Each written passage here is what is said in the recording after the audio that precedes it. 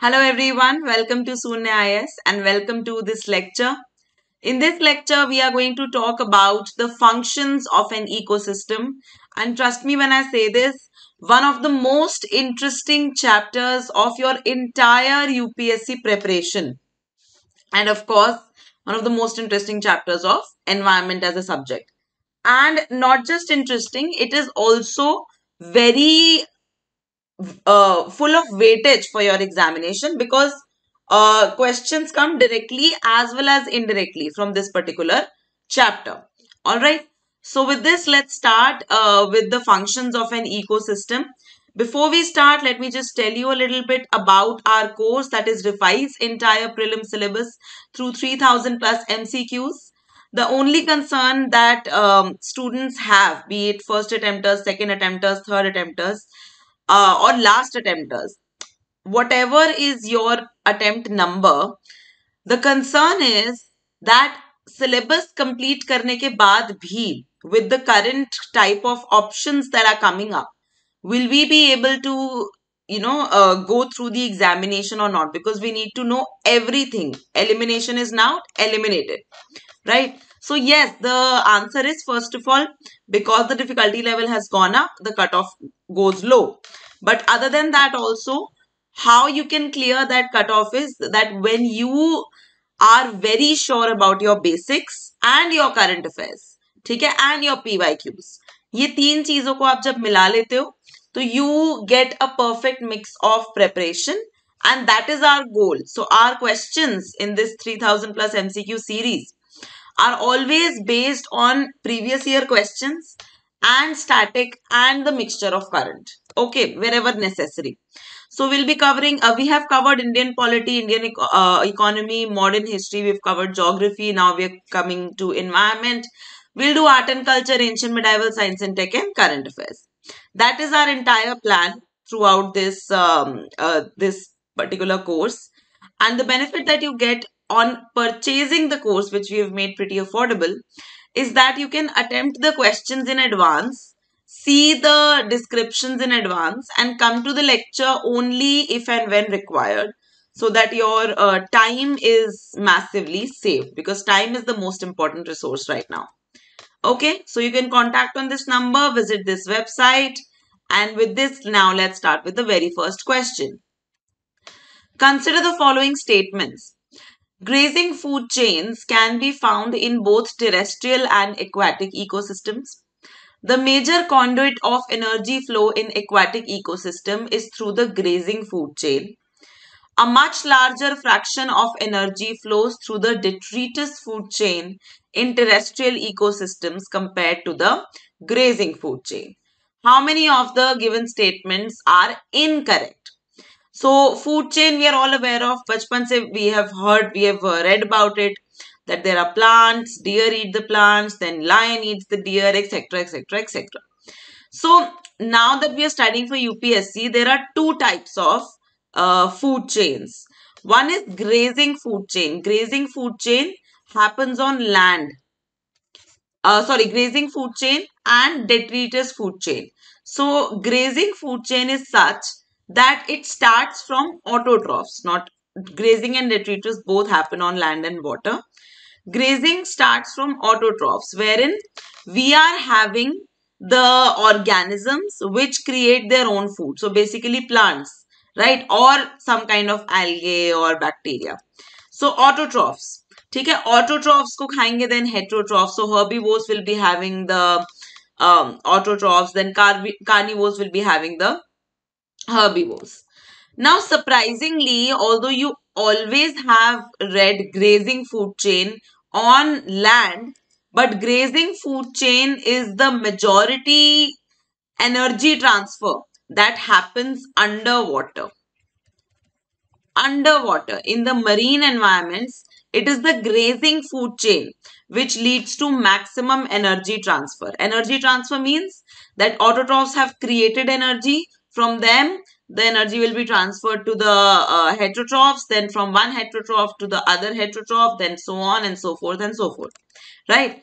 So, grazing food chain transfers most of the energy in underwater mechanism while the detritus food chain, what is detritus food chain? Which starts from dead and decaying remains, which starts from dead material of plants and animals. Okay. So the detritus food chain leads to majority of energy transfer on terrestrial ecosystem. ठीक है ये याद रखना है that detritus food chain will uh, transfer more and more energy through the terrestrial ecosystem.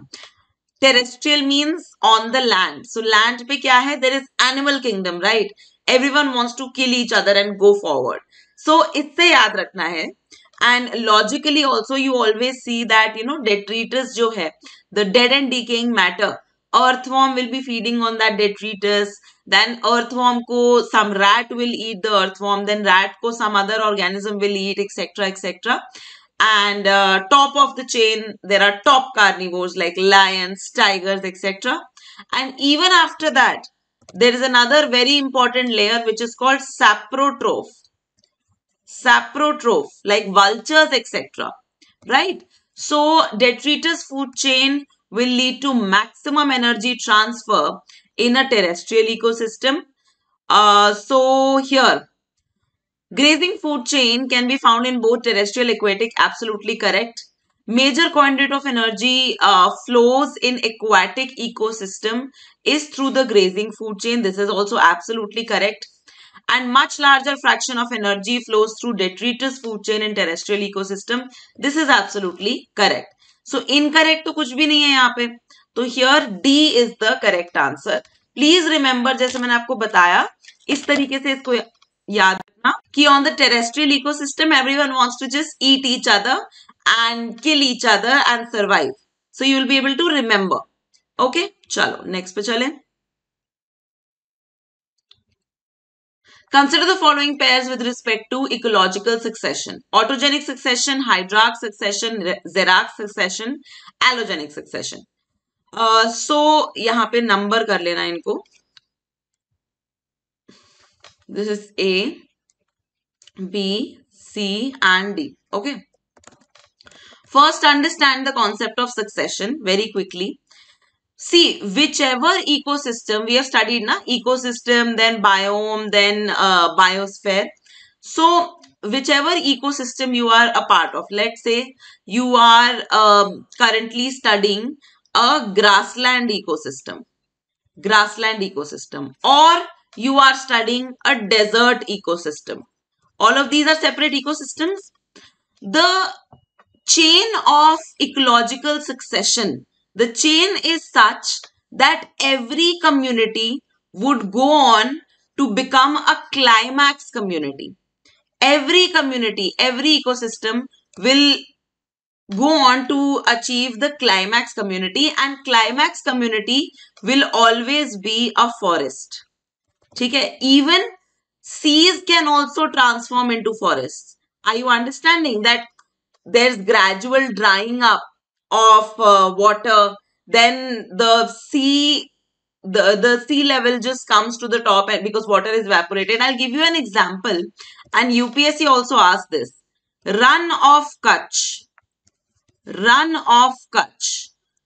Earlier it was a sea. It was submerged under sea.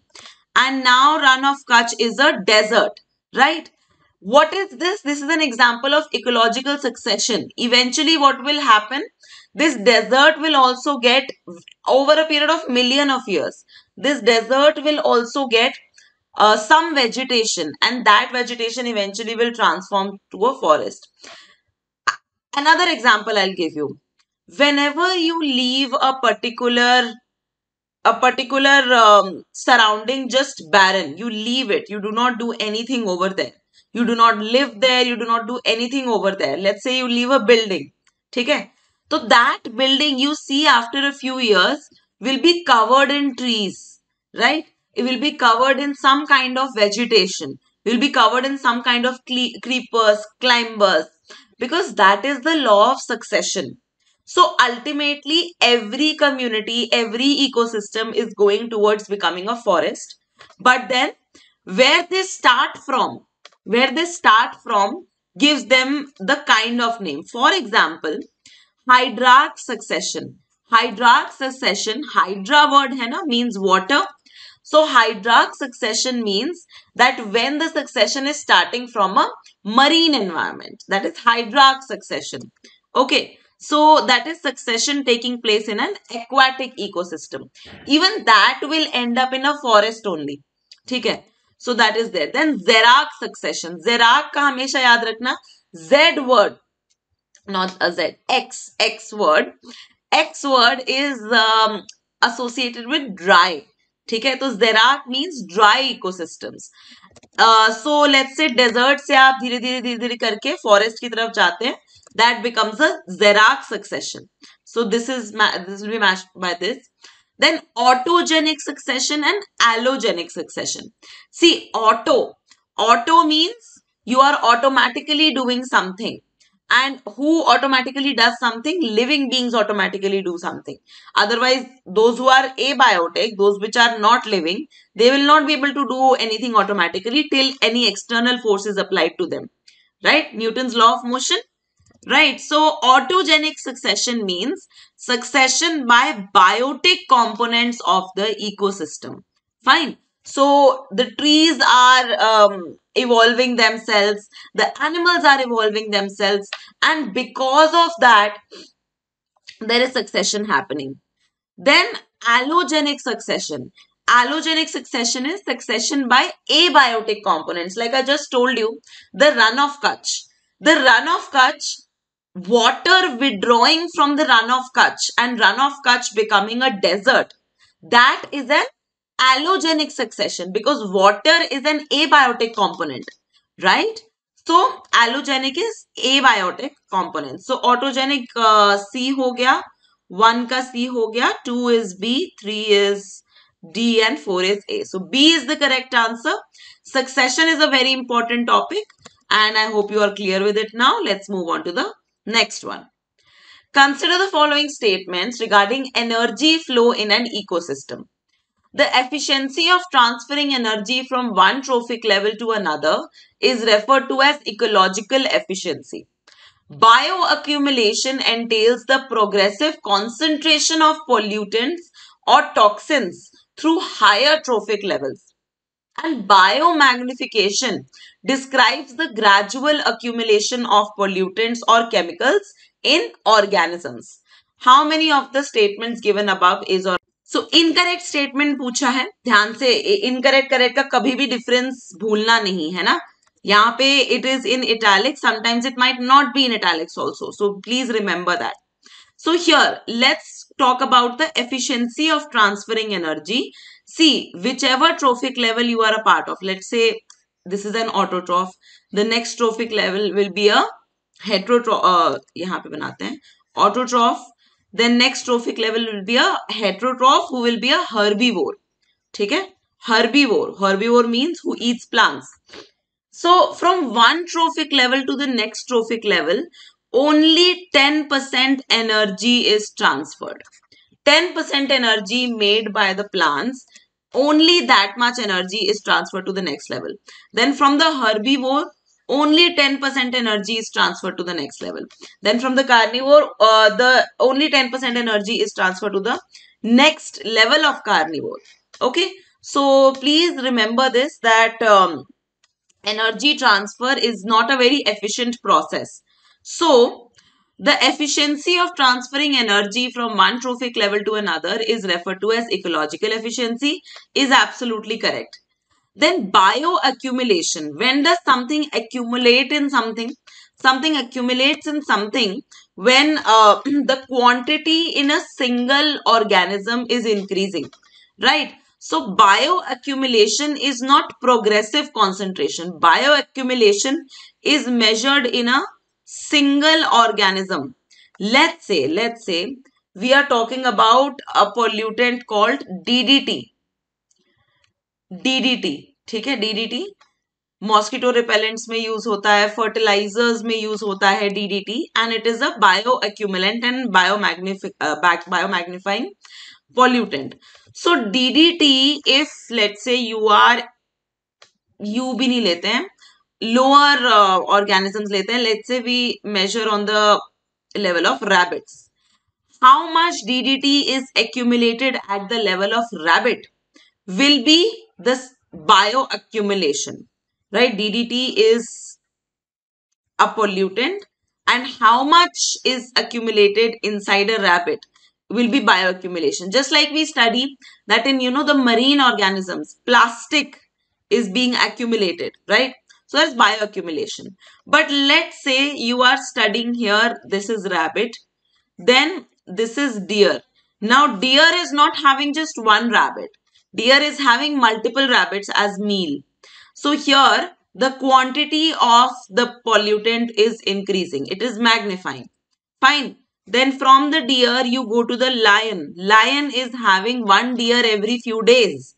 And that's why in the lion, the quantity of DDT is increasing. Then you come that lion is dead and lion is being, uh, is, uh, you know, um, being consumed by vulture. Fine, vulture is having a lion every other day. So, again, addition of the pollutants and that's why you know for vultures the drug diclofenac and endosulfan they have been banned to be produced in cattle because when cattle have this cattle have these drugs which are uh, given to them in order to increase their milk productivity and then they die then vultures uh, use uh, vultures eat them. In that case what happens is that these the quantity of these pollute the quantity of these uh, chemicals increases in the vultures and that leads to antimicrobial resistance and eventual death. Okay so here what i'm trying to say is that bioaccumulation is measured at the level of one organism. So bioaccumulation uh, describes the gradual accumulation of pollutants or chemical in organism and biomagnification is the progressive concentration of pollutants or toxins through higher trophic levels. So as and when you keep on going upwards in a trophic level, the accumulation of that pollutant will keep on increasing because the upper organism is having more and more quantity of the lower organism. Okay. So that is very important. So Biomagnification is this progressive concentration. Bioaccumulation is gradual accumulation in a single organism. So on, only one is correctly matched but incorrect pucha hai. So only two will be the correct answer. Only two are incorrect over here. ठीक है चलो next पे चलते हैं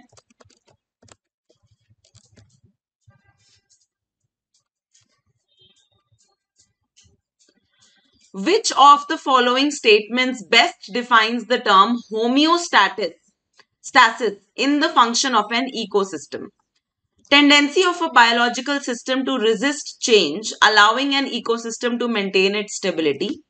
Equal proportion of species richness in a given ecosystem at a particular time of the year. Water carrying capacity of the entire ecosystem in a xerarch community or none of the above.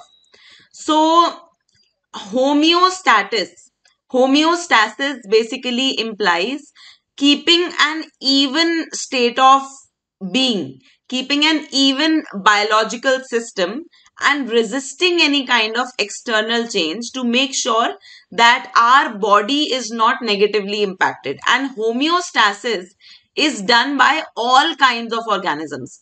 For example, let's say, let's say if you are attacked by a foreign virus है ना? Virus has attacked you and uh, it is impacting your immune system. What will your body react? How will your body react? It will raise the temperature. Raise the body temperature. Raise the body temperature so that your body feels better prepared to fight with this particular virus and this particular virus because of the heat can be eliminated, right? So that is an example of homeostasis and it's a tendency on an individual level and on a uh, biological system level, it is the tendency of a biological system to resist change and allowing an ecosystem to maintain its stability. ठीक है so that is there and this is the answer for homeostasis it happens at the level of an individual also happens at the level of a ecosystem also fine so a is the answer for this one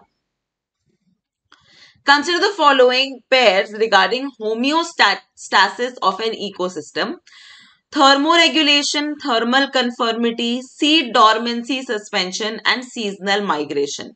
so so, यहाँ पे कौन कौन से correctly matched है? देखो ये अलग अलग तरीके हैं होम्योस्टैसिस मेंटेन करने के। Fine in a particular in a particular ecosystem homeostasis can be maintained by multiple ways and these four are ways to maintain homeostasis so only when organisms will maintain homeostasis will the ecosystem as a whole maintain homeostasis right so thermoregulation regulate करना किसी चीज़ को that means maintain करना right let's if you are regulating your weight तो you are maintaining your weight in a certain range so thermoregulation means that we are trying to maintain our internal body temperature according to the body according to the temperature of the environment and that is why organisms like human beings we are able to survive in wide variety of temperatures because we tend to thermoregulate ourselves right? So thermoregulation is maintaining internal body temperature consistent with surroundings. Which kind of organisms will do thermoregulation? We have already talked about uh, euryhaline and stenohaline organisms. So here only euryhaline organisms will be able to do thermoregulation. That means they'll be able to change their internal temperature according to external temperature. Steno, steno, um, no, eurythermal, not euryhaline, sorry. Eurythermal and stenothermal. So only eurythermal will be able to, only eurythermal organisms will be able to maintain their internal body temperature according to the external environment. So eurythermal organisms will do thermoregulation. Then thermal conformity. What is being conformant? What is conforming to something? That you are basically um, changing something according to the external atmosphere, right? So thermal conformity happens when we change our body temperature in response to surrounding temperature. There are some organisms which go to the extreme temperature according to the um, temperature of the environment. Like we, for example, human beings, we will always tend to maintain a particular temperature of our body. We will not go, we cannot go to minus 50, minus 60 degrees Celsius, right? But there are some organisms which can change their temperature according to surrounding temperature just to survive. Okay, so that is thermal conformity. So here both of them are incorrectly matched. Please remember this. है ना? Then seed dormancy suspension. It's very clear by the name that the germination of seeds, basically the creation of seeds, it is temporarily halted so that energy can be saved because externally let's say there is no availability of food no availability of uh, um, you know proper environment proper climate so you tend to preserve your energy hmm. so that you can use that energy to live for longer Okay, so temporary halting of seed germination that is seed dormancy suspension absolutely correct then seasonal migration, temporary movement of organisms for their habitat. This is absolutely correct. You know a lot of birds do this, right? Siberian crane, for example. Siberian crane jo hai, uh, they will come from Siberia to countries like India and Pakistan during winters because the Arctic becomes inhabitable. So here only two are correct and these four are the ways to maintain homeostasis at the level of an organism and when at the level of an organism the homeostasis is maintained. Then at the level of a community also at the level of an ecosystem also the homeostasis is maintained. Okay next. With regard to energy flow in an ecosystem consider the following statements. Energy flow in an ecosystem is represented through the different trophic levels. Energy flow will always will be always unidirectional through trophic levels from producers and there will be decrease in energy at each trophic level due to loss in the form of heat. How many of the given statements are correct? So energy flow in an ecosystem. Basically, this is one thing where only is not incorrect.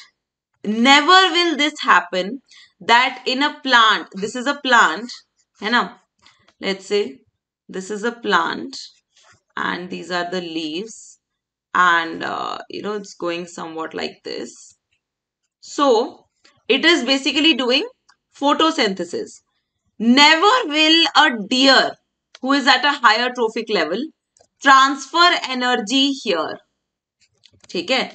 It will never happen. It will only happen upwards. Now you might think that ma'am uh, these particular organisms they die then they release nutrients into the soil then that nutrient is taken up by the plant and that is how they are also contributing that is a separate food chain that is the detritus food chain remember detritus food chain bolenge usko hum that is not um, the grazing food chain in grazing food chain the energy transfer will happen only from the bottom to top ठीक है detritus food chain में uh, maybe only unidirectional energy flow is there. Any kind of food chain, unidirectional energy flow is there.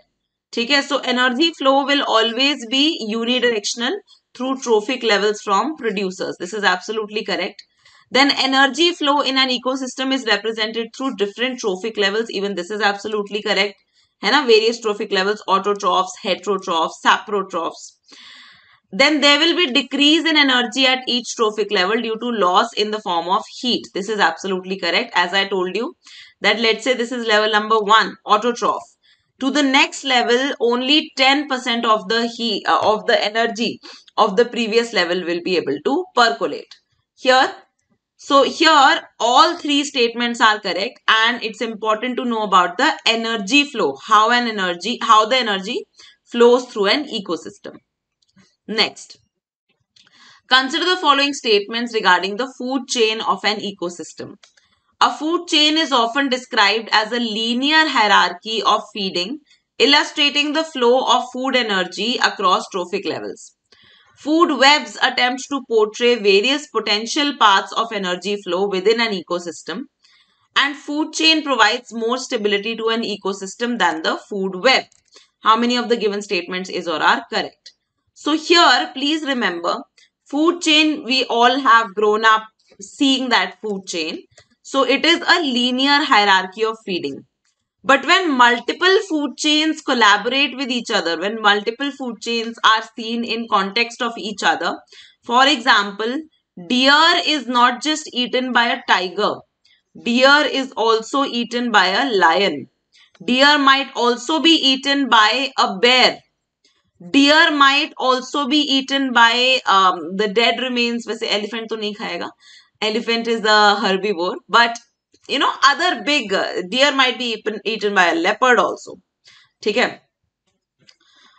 Leopard also so अलग अलग food chains एक ही time पे they are coexisting and that is what a food web is fine so food chain is a linear hierarchy and food webs attempt to portray various potential paths of energy flow within an ecosystem. This is an absolutely correct thing.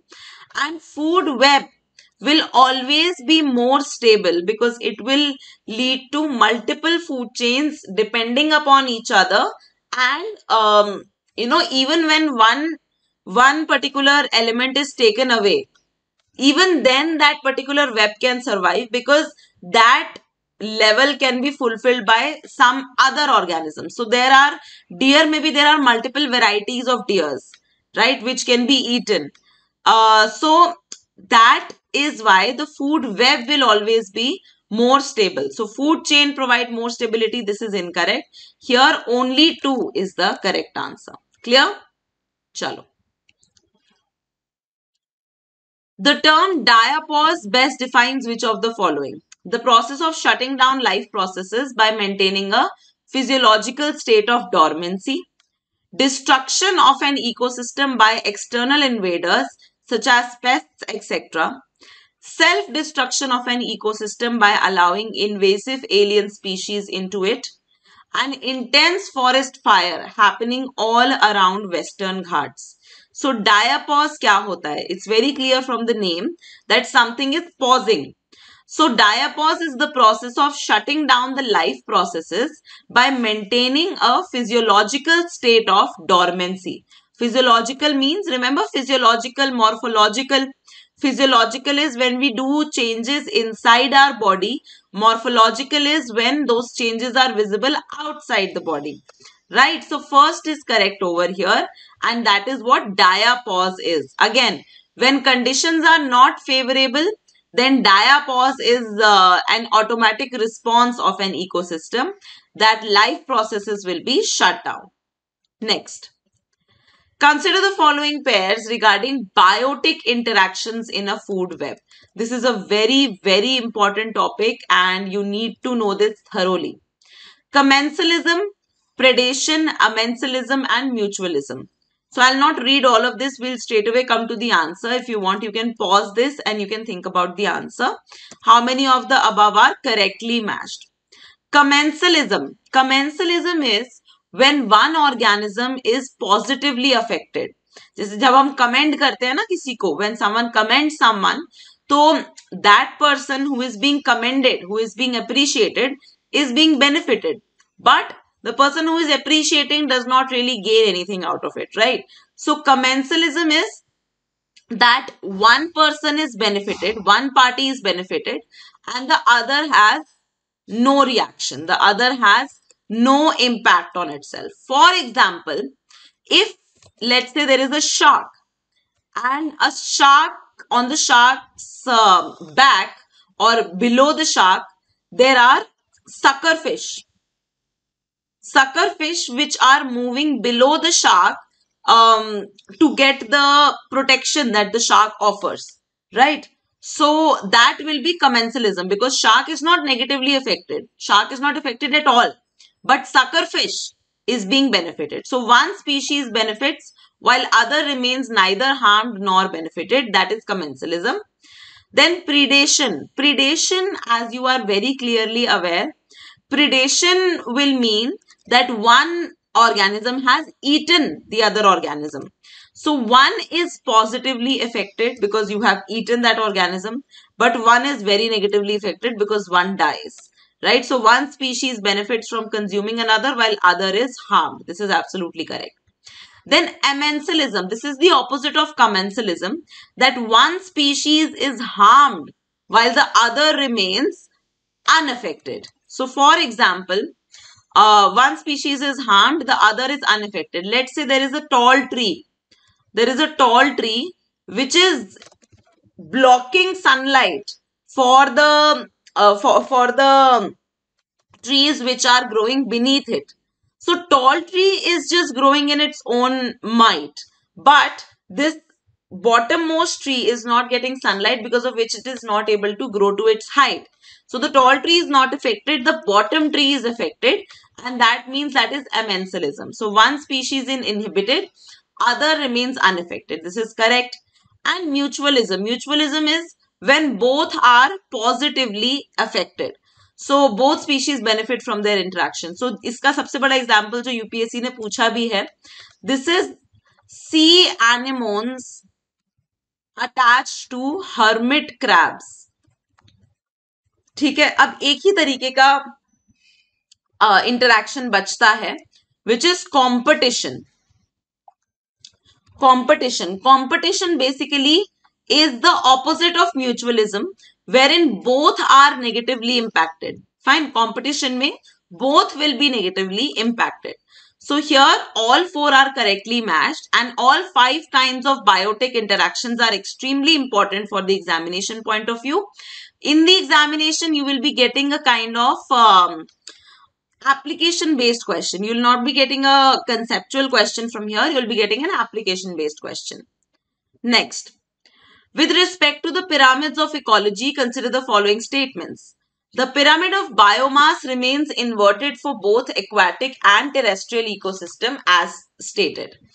Uh, the pyramid of numbers can exhibit both upright and inverted forms depending on the ecosystem and the specific organisms involved.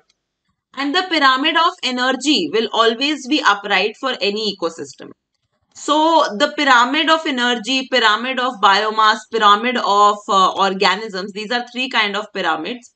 see pyramid of energy bahut clear hai maine aapko bataya hai whichever ecosystem is there to the next trophic level only 10% of the energy of the previous trophic level will go theek hai to pyramid of energy will always remain upright ठीक है ये याद रखना हमेशा but other pyramids, let's say we are trying to calculate the number of organisms at each trophic level.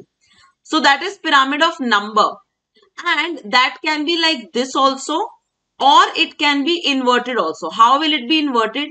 Let's say there is a sea ecosystem wherein at the top of the sea um, uh, wherein at the uh, top of uh, we are talking about biomass. Let's talk about the pyramid of biomass right now. At the top of the sea in a pyramid of biomass there is there are organisms like blue whale. Okay there are organisms like blue whale. And at the bottom of the sea there are smaller phytoplanktons. Right? Bottom of the sea not the sea bottom. Bottom of the sea means the autotrophs of the sea so there are organisms which are creating their own food but they're very light in weight so the pyramid of biomass will be inverted in a sea ecosystem Similarly, the pyramid of number, let's say. Pyramid of number, here, if there is a tree ecosystem, let's say there is a tree ecosystem, and the tree is actually the autotroph over here. So the tree is only one. But on the level of the tree, there are so many other organisms which are sustaining their life. So the pyramid of a pyramid of number in a tree ecosystem will be inverted like this. Because the bottommost layer where the food is being made, only one organism is there, that is the tree. But as you go upwards, the number of organisms keep increasing. So here now let's come back to it.